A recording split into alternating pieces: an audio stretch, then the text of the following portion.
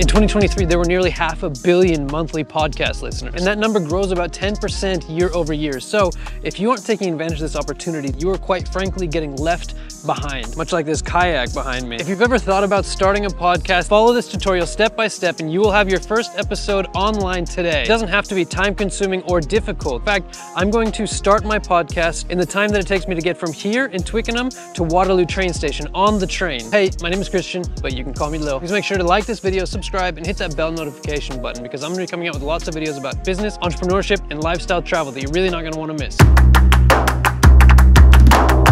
Rugby day picking Twickenham. Okay, so I'm waiting for my train now, and the first thing you need to do is pick a podcast host. This is essentially the company that's going to host your podcast files, your MP3 files, and it's going to distribute them to all of the big podcasting companies like Spotify, Apple Music, and everywhere else you might listen to a podcast. Now, don't get what I'm about to tell you twisted because there are a bunch of great options. You have Anchor, Podbean, Buzzsprout, and all the other ones that are down below here. But if you're just getting started with podcasting, this is the first time you've ever done it, you almost definitely want to just go with Anchor, which is now owned by Spotify. Reason being that it has like automatic automatic distribution with all the maximum amount of channels. It's completely unlimited and it's totally free. And it'll match you up with potential advertisers automatically. And if you do one day decide that one of those other podcasting hosts is better for you, then it's super easy to change. If you want to know more about each one of those different podcasting hosts, in the description of episode one, it's going to be only for subscribers, a guide to podcasting. There's a spreadsheet with a whole bunch of different podcasting companies, all of the benefits that they offer, their prices, and everything else that you might need for that. So go ahead and pause pause this, go do that. I'll wait. I'm not gonna wait long. As I got onto the train, I was recording my really nice B-roll, and then like two dozen people got on the train. I didn't want to be rude, so I decided this is going to be a voiceover. Not to worry, I've included the train's audio in the background, so you know exactly where we are in the process during each stop. Basically, I'm just going to play this video on my computer, and I'm going to comment over it as it's playing. And go. Okay, so the first thing that you're going to want to do is go over to podcasters.spotify.com. You're going to sign up if you don't already have a Spotify account or sign in if you do, and you are going to go continue to the app. That's continue to podca- podcasters.spotify.com. Now, once you've signed up for that, you're going to have to, you know, agree to the terms and conditions, and your next step is to come up with a Spotify podcast name or just a podcast name. Now, you can do whatever you want here. If you've got a name already, that's great. But I just go straight over to ChatGPT. That's what I do for like everything these days. So now you put in, you know, whatever you put in here. This is your podcast idea. But for me, I said, give me some podcast name ideas. The podcast is about entrepreneurship and business. The first 10 suggestions that they gave me, they were they were kind of cool, but I wanted to make it about like really getting into the I really want to make it provocative. That's sort of my branding, my style, and my YouTube channel. And so that's what I want my podcast to be like too. Provocative, as in it's like no BS, no nonsense. So that's what I'm telling ChatGPT here, and it's giving me a couple other ideas here. I think the the no BS business sense is kind of like too much, but here we go putting it in the raw entrepreneur. That was one of the ideas. I think that's a great one. Now, full disclosure, I am going to change the name of this podcast. It's probably just going to be Call Me Lil or Lil Assistance.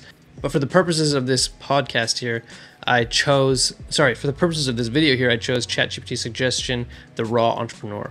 Now, what you need is you need a podcast description. This is going to be really similar to your podcast title. You, you're, you're creating your style, if that makes sense. So I wouldn't necessarily recommend going directly with the first suggestion that ChatGPT gives you.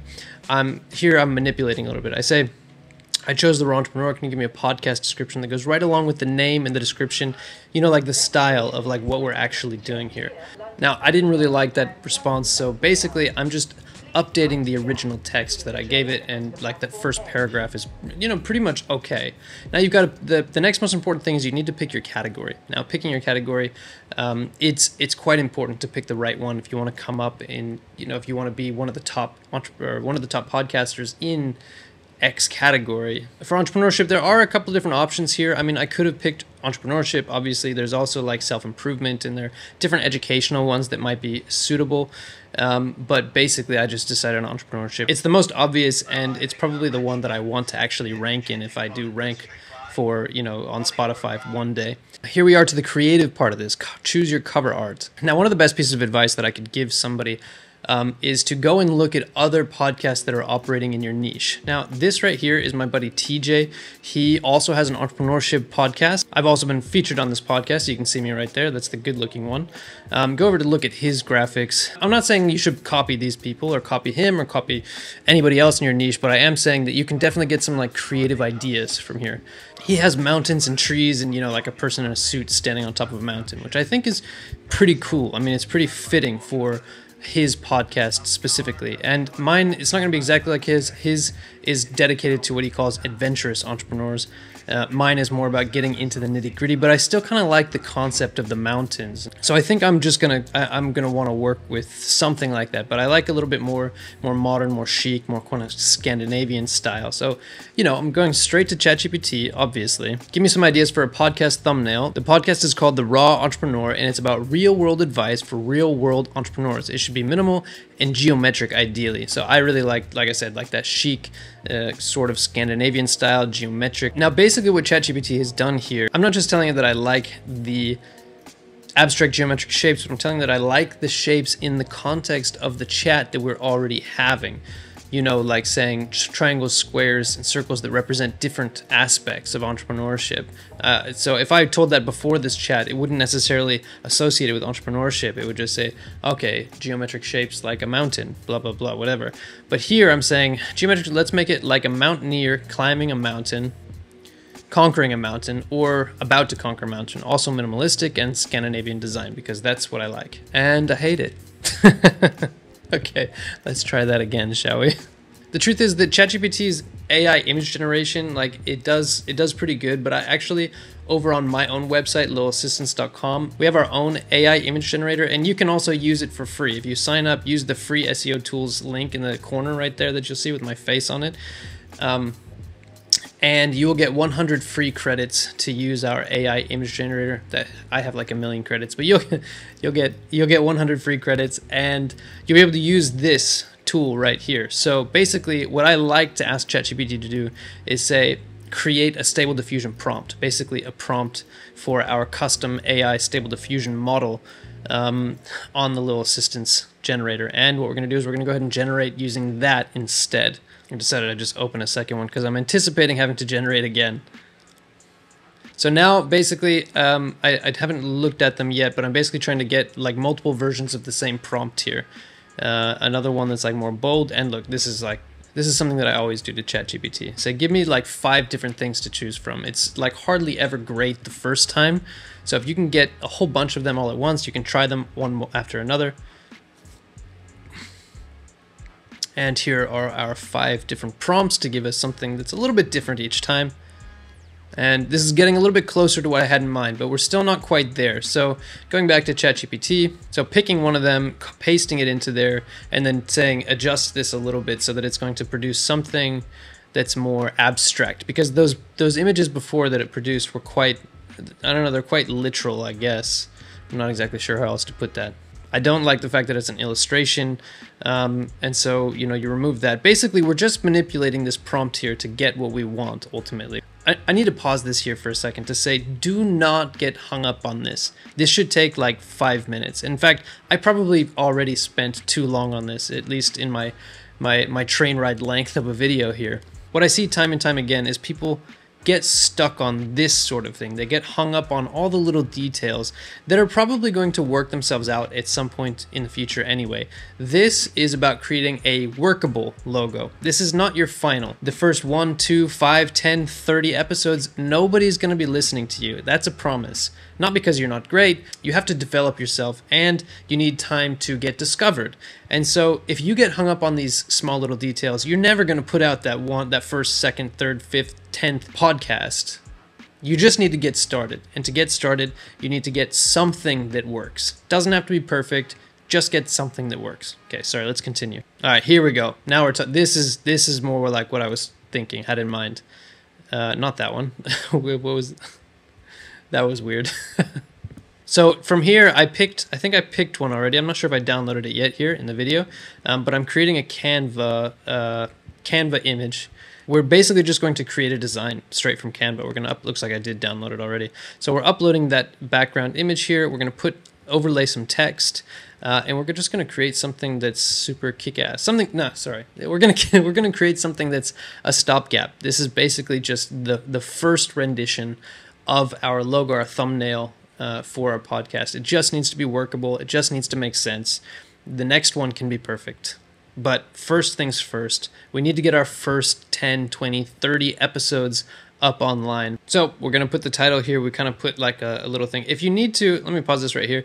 If you need to, like I said before, you can go over to, you know, somebody else in the industry. I'm not saying copy their graphics. I'm saying draw inspiration from their graphics. So you can see here that, that TJ has like a, a specific style here, adventurous entrepreneurs.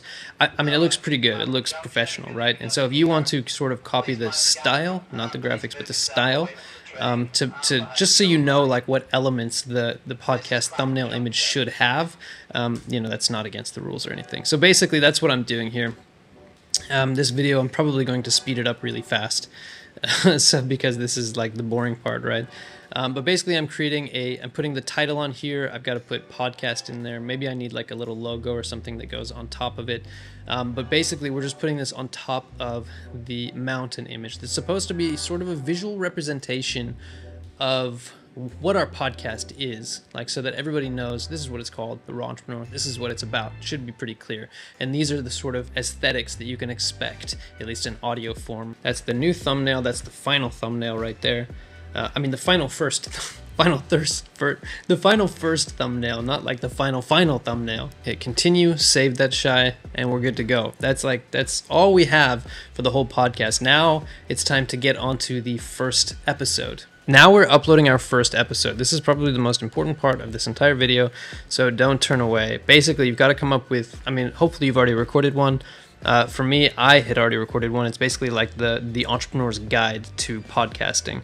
I already mentioned this earlier on in the video, but if you go and subscribe to my podcast, you'll be able to download a PDF version of the entrepreneur's guide to podcasting, which gives you a, a, pretty good taste of like everything you need to know for podcasting. And it gives you uh, a spreadsheet of 12, the pros and cons of 12 different podcast hosts, which I've already mentioned earlier in the video. But let's continue here. So I've got to come up with a, first things first, I got to come up with a title for this podcast. I already know what it's about. I already recorded it. But of course, next I've got to come up with a description for the same thing. Uh, every single time with ChatGPT, I always, always, always tell it to cut the fluff. I want zero fluffy language. I, really hate how it does that. So now I, I go back to ChatGPT just like I always do. I say, I got to write the description of the podcast episode. So I say, I have a podcast called The Entrepreneur. Here's the podcast's entire description. You know, paste it, obviously. I didn't write that all out. Um, and I've already created the the name of the podcast episode. So now I have podcast episode one. Uh, it's called Startup Sounds: The Entrepreneur's Guide to Podcasting. Uh, later on, I deleted Startup Sounds because I thought that sounded really stupid. It's just called The Entrepreneur's Guide to Podcasting. It's like everything that you need to know about creating a podcast for podcasters goes through. Not like every little detail, but like an overview of the whole thing. So now I'm saying, please write me a description for the episode. The description should follow exactly the same type of language as the podcast description. Remember, we're like no nonsense, no fluff that's what we're trying to do here. Um, I find myself often deleting the first, you know, half a sentence that ChatGPT gives me for like every single prompt, uh, and so this was no exception here. so basically, just writing this is a straightforward, practical, blah blah blah. Publish date now, explicit content no, uh, advanced details full. Season number one, episode one. Now, here is another really important part here. Basically, there are a bunch of different ways that you could go about um, creating your podcast episode images. Now, a lot of people don't have these. You don't have to create one if you don't want one. Um, basically, what happens is you have a thumbnail image for your podcast, for the entire podcast. Um, and if you don't create individual episode podcasts, what will happen is they will just use your podcast thumbnail for all of the episodes, which is fine. I would recommend, generally speaking, that you create sort of like a template for each one of your episodes where it's like, it goes like, it looks really similar to your podcast thumbnail image, but then each one says like episode one, episode two, episode three, you know, with sort of the title or description of the episode. So that's what I did here on Canva. I'm creating a template. You can look at TJ does this right here. Uh, he's got like episode 56, episode 55, and I think they've got, he has like the person that they interviewed in each episode. Again, TJ, totally not copying you, just deriving inspiration here. I'm to leave a link to the Canva template of this specifically in the description of this video. You feel free to use it. Adapt. I mean, obviously adapt it to your own podcast name and style and everything, but it's not a bad, you know, not a bad place to start. Okay, we got episode one, season one, and I think we are good to go. Gotta just hit publish. Oh yeah, so Q and A here. Now this, of course, is by no means required but it definitely it, it, definitely does help drive like interaction. So something like this like because this is about creating podcasts what inspired you to start your own podcast or what's stopping you from doing it i think is probably you know the most appropriate question here that can actually stoke a conversation potentially. Now if you have anything to add to that if you want to answer that question please do answer in the comments below on this video or on the podcast. That's cool too. So then we're good to go. I think it's all published here yeah, it's all published. Now, the only thing left to do here, we've got a we've got our first episode, we've got our thumbnail, we've got our title, we've got our description, we've got our episode title, we've got our episode thumbnail, we've got our episode description. The only thing left here is to distribute. Like I mentioned earlier in the video, this Spotify or podcaster Spotify, formerly known as Anchor, um, is a podcast host. They host your MP3 files and all your images and that sort of thing, but they distribute out to all the different channels like uh, Apple Music, like Spotify, and they do so via something called an RSS feed. Now, an RSS feed is just like a brick of text that basically has a whole bunch of information, um, and you have to. The first thing you need to do is you have to go enable your RSS feed. And then you're going to go put your email address in there. You got to add it to the RSS feed because you have to go confirm that for a bunch of different services. And then you're going to go one by one, first to Amazon Music. You're going to link your podcast in here. You got to log into your Amazon account.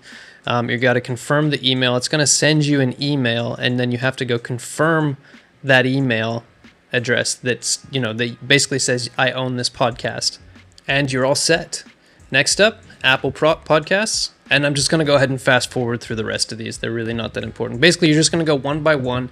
You are going to have to go create accounts for each and every one of them.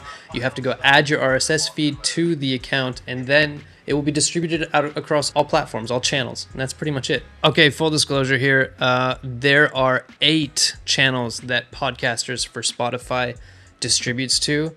And I was on the seventh one when I reached Waterloo train station. So I actually lied to you at the beginning of this and failed the challenge. But I got pretty darn close. The next stop will be our final stop, London Waterloo.